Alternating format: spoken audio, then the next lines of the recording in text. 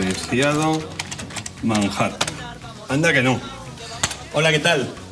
Aquí contestando a mi amigo Roberto, que me comenta que echa de menos el jamón ibérico. ¿Quién no va a echar de menos un buen jamón? Yo cuando estoy en Estados Unidos es que sueño con él. Como sabéis, no permite la entrada de cualquier producto cárnico sacrificado en los mataderos españoles. ¿Qué se le va a hacer? Esperemos que cambie. Yo por lo pronto, como estoy aquí hoy, me voy a pegar un tremendo homenaje. Manitas de cerdo con nabos y unos trigueros con jamón ibérico, vamos, buenísimos. Vamos al mercado. Que vámonos pa'l mercado, que vámonos, vamos pa'l mercado. Que vámonos pa'l mercado, que vámonos, vamos pa'l mercado. Qué buena pinta que tiene este jamón. Hola, ¿qué tal? Hola, buenos días. Pues quería un poquito de jamón ibérico. Así, por ejemplo, Qué buena pinta de tiene. bellota es una maravilla. Qué veteado más bonito, ¿no? Está en la parte de la maza que es la mejor parte del jamón. Pero mira, yo creo que el precio se me va un poco. Voy a ir por algo un poquito más económico, que además lo voy a cocinar. Yo creo que la paletilla mejor, ¿no? Podemos ofrecer paletilla de bellota también. Pues- es el mismo producto, pero en paleta en vez de jamón. Y además, a mejor precio. Yo creo que sí, que me voy a llevar pues unos 100 gramos. 100 gramitos. Me gustaría finita. Cabo finito. Sí, Muy bien. Me lo, me lo va a cortar en la máquina, ¿no? Sí, sí, claro. Perfecto. La verdad que la máquina va muy bien para cuando hacemos cosas de estas culinarias. Sobre todo, como en este caso, que queremos unas láminas todas iguales y del mismo grosor. Y aquí lo que veo, que es la que vamos a comprar, que dice Ibérica de Bellota. Es un ibérico que ha sido alimentado en la dehesa solamente, exclusivamente con bellotas. Por aquí vemos el recebo, donde ha sido alimentado, en este caso, con una mezcla de pienso y bellota. Y muchas veces nos vamos a encontrar un tercero, que sería el de cebo, que son cerdos ibéricos que han sido alimentados únicamente, en este caso, con pienso. Pero este también sería una gran compra, porque además mira qué buen precio. Oye, ¿puedo coger un poquito? Sí, Oh, claro, cómo no. Vamos. Mira qué buena pinta, ¿no? Qué bien huele, ¿no? Muy bueno, muy bueno. Tendrían que hacer perfume de jamón, porque es que esto me lo llevo, ¿eh? Muy bien. No me lo llevo puesto porque no puedo, porque si no... ¿Alguna cosita más? ¿Y cuánto es? 7,50. ¿Ya cuánto están los tomates? ¿Ya cuánto los solomillos? Pues dame un par de aguacates, un lenguado, un rabillo. Pues como dice el refrán, del cerdo hasta los andares. Y por los andares estamos comenzando hoy. Unas manitas de cerdo de primera. Si tú quieres hacer manitas, te vas al mercado y muchas veces ya te las dan. Limpias y hervidas. Listas para ser cocinadas. Pero como tú sabes que a mí me gustan hacer las cosas siempre desde el principio, vamos a empezar a eso, a limpiarlas y a hervirlas. Que ya verás qué plato más bueno y más resultón. Lo primero, cuando las compras vas a ver que siempre pues tienen pelitos, al igual que los pollos. El soplete, que ya lo conocéis, que es muy buen amigo mío. ¿Eh? Mira qué bien. Genial esto, ¿no? Y empezamos pues a quemarle todos los pelitos. Y así, una a una. ¿Ves cómo huele? Huele aquello ya quemadito, ya empieza esto a oler bien. Una vez que esto está hecho, bajo el grifo y simplemente con la ayuda así de la mano, le vas quitando bien, bien todos los pelitos. Yo como soy muy espabilado para esto, mira ya lo que tengo aquí. Ya tengo los pies, las manitas, mejor dicho, limpitas y en remojo. Las tengo aquí en agua, con hielo y con sal. ¿Por qué le ponemos la sal? Pues bien fácil. Cuando el agua tiene sal, las moléculas de agua corren mucho más. Hay mucho más movimiento. Eso hace que ayude a limpiar mejor la manita. Y también el hielo, ¿por qué? Porque queremos que coja mucho frío. Al coger la manita el frío, se encoge. Al encogerse, empieza a expulsar toda la sangre que tiene en el interior en las venitas. Por eso veis que el agua ya empieza a estar de este color un poco rojito. Siguiente paso, las ponemos en la olla. Y las vamos a poner a hervir. Y las vamos a poner a hervir desde agua caliente o desde agua fría.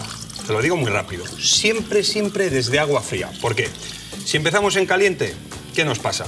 Que rápidamente aquí tiene esto, un ingrediente muy importante que se llama el colágeno. El colágeno, pues es lo que le da la gelatinidad a los pies de cerdo y a muchos otros productos. Si empezáramos con agua caliente, el colágeno simplemente se nos bloquearía y haría que las manitas de cerdo no quedaran, pues aquello, tan blanditas y tan melosas. Eso sería la razón número uno. Pero hay una segunda razón. Al igual que hemos hecho con el agua muy, muy, muy, muy fría para que ¿eh? las venitas expulsen la sangre, al empezar con el agua fría, vamos a hacer que a medida que empieza a subir la temperatura, la sangre va a empezar también a salir de las venitas. Si empezamos con el agua caliente, se coagula inmediatamente, por lo que nunca conseguiremos que la vena quede realmente limpia. De esta manera, en muy poco tiempo van a empezar a subir, pues eso, ¿no? Una especie de espuma. Esa espuma son las impurezas y sobre todo la sangre que está en el interior. Y esa sangre no la queremos. Y mientras esto arranca el hervor, vamos ya a preparar lo que serían los aromáticos, que en este caso hoy van a ser el laurel, el clavo, la zanahoria y la cebolla. Vamos a pelarlo. Vámonos, vámonos. Y ahora mira, una manera muy rápida de pelar una cebolla. Corte aquí. Corte arriba. Y le vamos a hacer así un corte lateral. De arriba abajo. Simplemente hasta que llegamos al final de la primera anilla. Y le vamos a hacer lo mismo en el otro lado. Y ahora simplemente, con la ayuda del dedo, mira con qué facilidad sale. Si tienes que pelar una, puedes utilizar cualquier técnica, pero si tienes que hacer muchas cebollas, esta es la forma más rápida.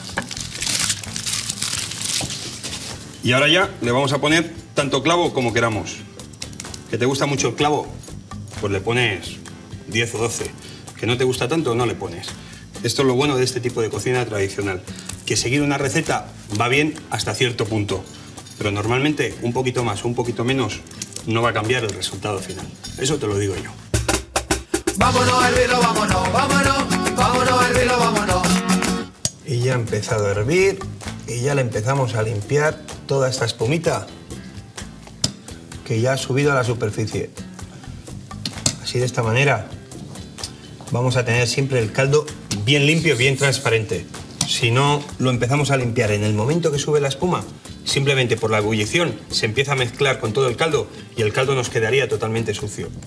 Y ahora ya es el momento de poner los aromáticos.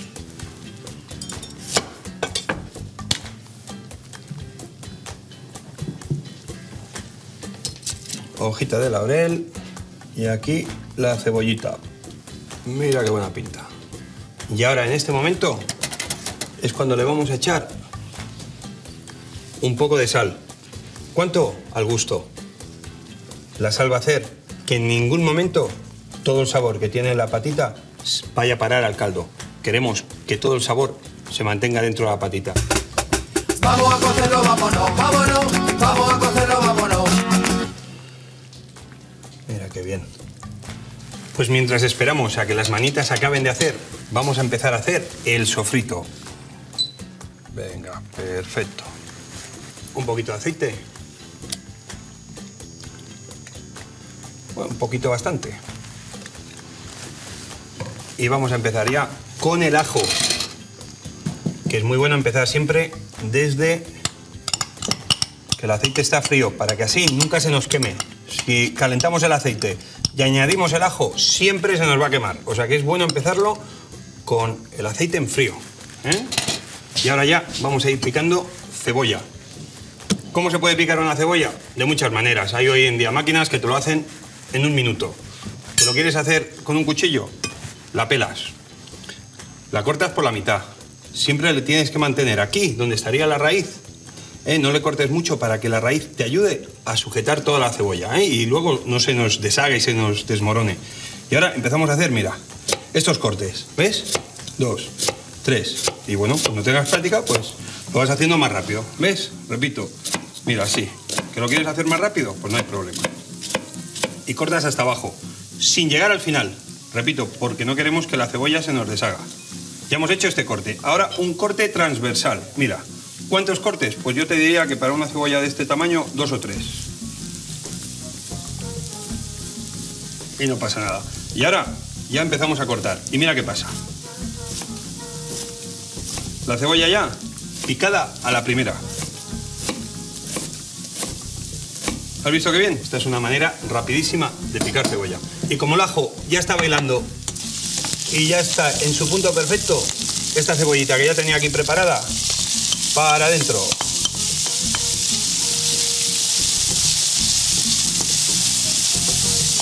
Y ¿Os acordáis lo de la música, no? Muy importante. Y ahora vamos a esperar, calculo yo que unos 10 minutos hasta que la cebolla se nos ha quedado translúcida, ya empieza a estar blandita y un poco dulce. Vamos a freírlo. Vámonos, vámonos. Mira qué buen color que tiene ya esta cebolla. Si veis que la cebolla se os está dorando demasiado, simplemente a fuego medio bajo. Y esto siempre va muy bien. Un poquito de agua o un poquito de este caldo tan rico. Y esto es ya suficiente para que la cebolla se siga cocinando así poquito a poco. ¿eh? Y ahora ya el siguiente paso, que es el tomate rallado. Perfecto. Y de esta forma calculo yo que en otros 10-15 minutos ya tenemos el sofrito en su punto. Y esto es lo que va a hacer que las manitas que tenemos aquí nos queden realmente buenas. Vamos a darle fuego. Vámonos, vámonos. ¡Qué maravilla este sofrito! Y ahora ya pasamos a los nabos. Esto es una hortaliza, de la cual se comen tanto las hojas como en este caso la raíz, que es realmente la parte más querida y más preciada. Y bueno, yo creo que lo vamos a cortar así en unos pedacitos Vamos a picarlo, vámonos, vámonos. Vamos a picarlo, vámonos. Lo bueno del nabo es que al igual que la patata, nos va a absorber todos los sabores y todos los jugos. ¿eh? Una vez que los metamos dentro y lo mojemos con el caldo. Y ya verás que al final nos va a quedar casi casi más rico el nabo que las manitas. Lo vamos a dorar simplemente así un poquito. ¿eh? Lo justo. Y ahora ya, para seguir acabando esto, vamos a ir a las ñoras, que son estos pimientos dulces eh, tan únicos en nuestra cocina. Lo que he hecho ha sido muy fácil. Los abrimos así por la mitad, le quitamos las semillas. ¿eh? Cuando ya están limpios de la semilla y de todo, los vamos a introducir en un poquito de agua caliente. De esta manera, mira qué pasa. Absorben el agua, se nos rehidrata y luego, bien fácil, con la ayuda de una cuchara o de un cuchillo, lo que te parezca mejor. Mira lo que vamos a hacer. Vamos a utilizar la cuchara. Con mucho cariño y mucho cuidado le vamos a ir sacando la carne. ¿Veis? Simplemente para dejar la piel, el pellejo fuera. ¿Has visto cómo sale? ¿Eh? Mira con qué facilidad. ¿Eh? Así, con un poquito de paciencia porque no queremos que se nos meta la piel. Muchas veces esta carne de la ñoda, de la ñora o del pimiento choricero también se puede ya comprar limpia. Y esto nos ahorra un montón de tiempo.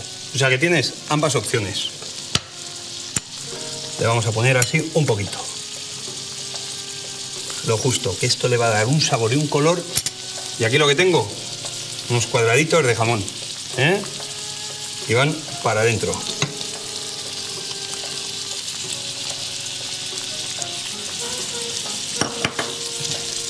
Madre mía, qué pinta que tiene esto ya.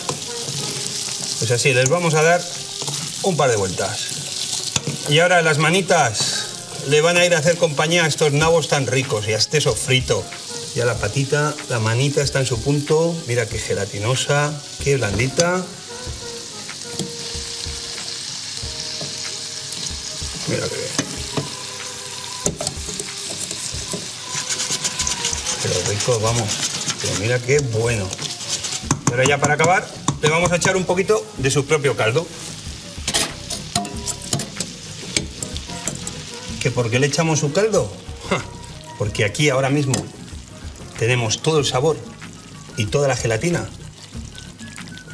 de estas manitas. Y esto es lo que va a hacer que nos quede realmente una salsa gelatinosa y untuosa. Uy, ya está aquí mi invitado de hoy. Hombre, Eh, José. Pedro, bienvenido. ¿Cómo estás? Qué maravilla, pero ¿qué me traes aquí? Hombre, no te mereces menos. Pero muchas gracias. Nada. Qué maravilla. Pues lo voy a guardar. No, no, ¿cómo que te lo vas a guardar? De eso nada. ¿Que lo vamos a abrir ahora o qué? Hombre, ¿Lo empiezas te lo he ahora? traído para comérnoslo ahora. Pues venga, mira, allí tienes la mesa. Vale, vale, pues. Para guardarlo. ¿No has traído cuchillos? Tú que siempre vas con tus cuchillos. Hoy venía de visita. Pues mira, Mira a ver qué es lo que tienes por ahí. tú sabes que yo siempre estoy preparado de cuchillos y de todo lo que tenga que ver con la cocina. Mira, Macho, preparado, ¿no? Preparadísimo. mira, mira, mira lo que tengo aquí. Con su calita y todo. ¿eh?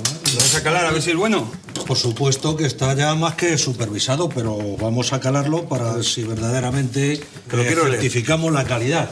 Te ayudo con- esto. Dame, dame, Te voy a coger el delantalito ese. Yo te lo traigo. Ah, vale, Tráeme muy aquí. bien. Tú empieza a calar, empieza. Venga, vamos con ello. Eh, este jamonero nos viene muy bien. Ese gamonero es de primera. ¿eh? Mira, aquí ya. Mira qué guapo voy a estar. Pues venga, ya ha- hazlo de todo. Venga, tira ahí. Ya me lo atas, ya porque estoy pringadito. Pues aquí mi amigo lo conocí en Frankfurt, porque este señor va por todo el mundo cortando el jamón como un verdadero maestro y representando al buen ibérico. Aquí.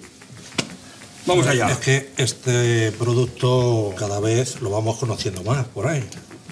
A ver qué te parece. Está madurito, yo creo que está en su punto. Está fantástico. O sea que en dos puntos, siempre ahí Sí, cercano. normalmente, pues aquí es donde no nos equivocamos. Ten en cuenta que estas son las zonas donde se puede producir algún deterioro. A mí me huele de primera. huele fantástico, ¿no? Sí. Bueno, pues vamos a ir. Oye, mira a ver si tienes por ahí un cacharrito para ir echando la grasa que le voy a quitar. Venga, sí, por aquí tengo yo ¿Eh? el plato.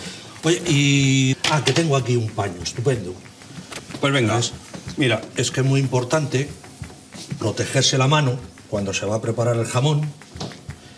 Y como en las casas no tenemos eso que tienen en las carnicerías y las charcuterías, pues nos apañamos un protector pues muy artesano. pues vamos allá. Bueno, ah, oye, pues que estás preparado con una herramienta Hombre, fantástica. ¿pero ¿Tú qué te crees? Pedro? Mira, esto le damos aquí al cortecito este y ya tenemos cortado el tendón. Le vamos a empezar por la parte esta. Yo te voy ayudando para que no...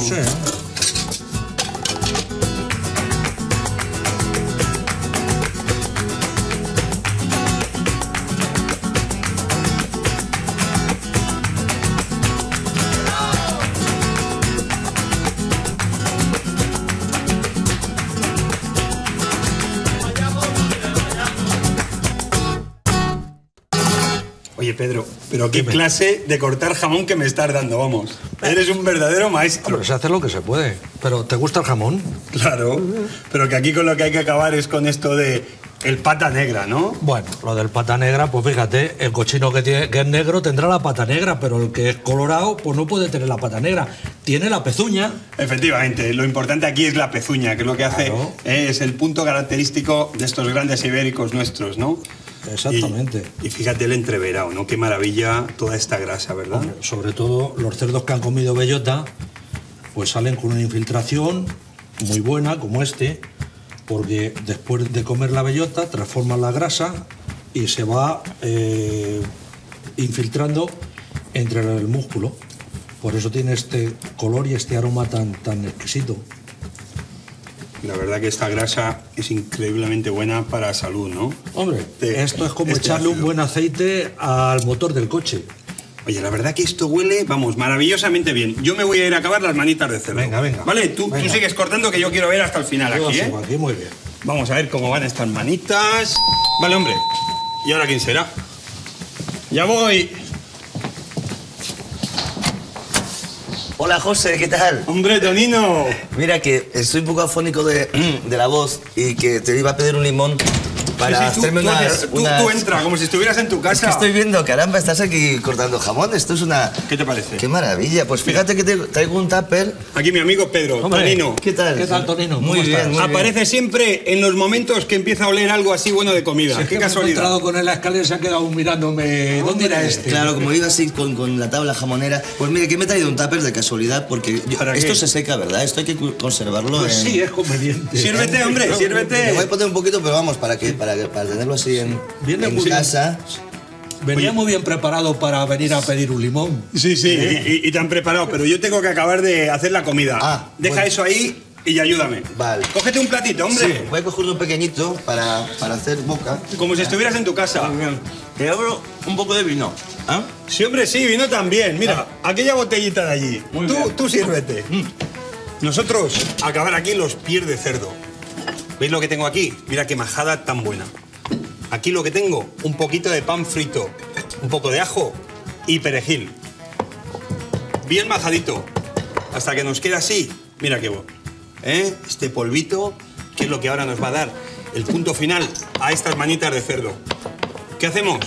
Un poquito del caldo aquí o un poquito de agua. Yo en este caso, como ya el caldo lo tengo bien reducidito, le vamos a echar una gota de agua. ¿Cómo va ese vino? ¿Va bien? Va bien, va bien. Este abridor es fantástico, ¿eh? y le vamos a echar este majadito aquí. Un par de herbores y esto ya está en su punto. Y mientras esperamos a que esto esté, vamos a hacer una tapita de estas de primera. Vamos a ir encendiendo el fuego. Aquí te dejo el vino, le voy a llevar también. Ayuda, ayuda allí. Sí. Muy bien, muchas gracias. Tengo por aquí estos trigueros que he comprado que están buenísimos. También se les conoce como espárragos de margen o trigueros de margen. ¿Por qué? Pues bien fácil. Porque en el margen de los ríos es donde se encuentran. Porque es la zona más húmeda ¿eh? en un bosque en cualquier parte. Por eso, de margen o trigueros. Y mira qué cosa más fácil. Con el, la paletilla que hemos comprado, simplemente bien finita, Aquí ponemos esta lámina bien finita, ponemos dos o tres y simplemente con mucho cariño le vamos a poner cuatro. Enrollamos. Y mira qué bonito, ¿ves? Y aquí ponemos. Y ahora lo único que hay que hacer, un poquito de aceite de oliva.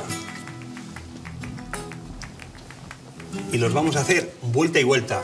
¿Por qué? Porque el espárrago triguero es tan finito que se cocina muy rápido.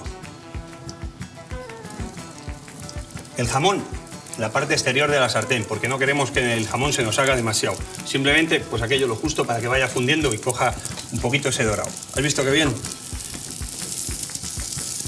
Bueno, ¿me ayudas a servir o qué? Pues sí, mira, si me quedo aquí a comer, pues mira, tengo unos tres tenedores. ¿eh?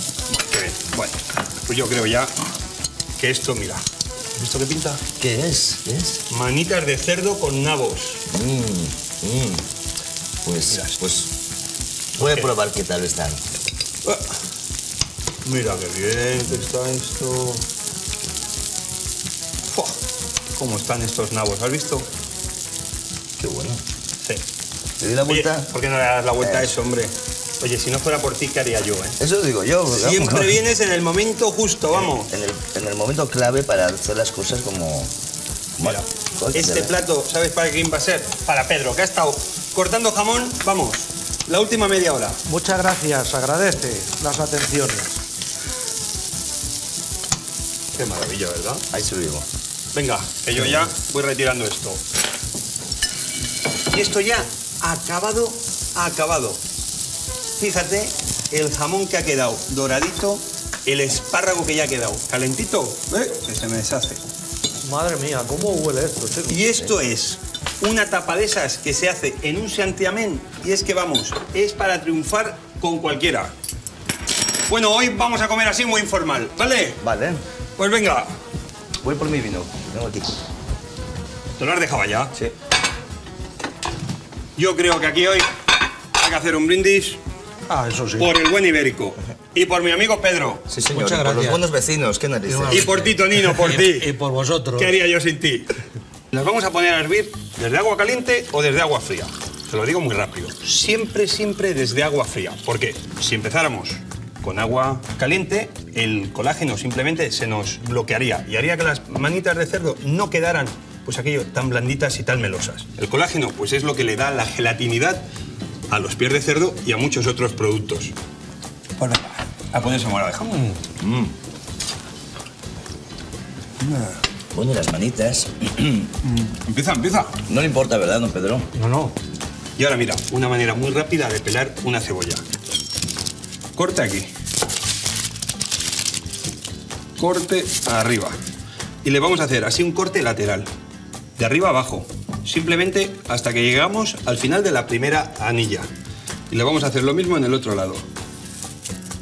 Y ahora simplemente, con la ayuda del dedo, mira con qué facilidad sale. Si tienes que pelar una, puedes utilizar cualquier técnica, pero si tienes que hacer muchas cebollas, esta es la forma más rápida.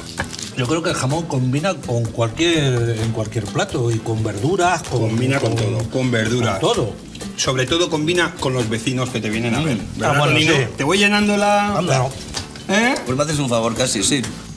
Que es muy bueno empezar siempre desde... El aceite está frío, para que así nunca se nos queme.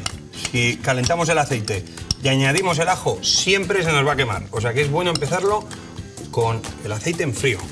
Aquí tienes, hombre. Muchas gracias, Ya tienes para el desayuno. Qué bueno. Y siempre guardado fuera de la nevera. No tiene que tocar la nevera. A temperatura ambiente, ¿verdad que sí, Pedro? Hombre, eso sí, de- esto es igual que el buen vino. Tiene que tener su temperatura adecuada. Mira, además, cómo se nota cuando el jamón está a temperatura. Mira cómo le fluye la grasa. Fenomenal. Perfecta. Nuevos hornos Bosch con puerta extraíble, control digital sin mandos y recetas programadas. Bosch te ofrece este espacio.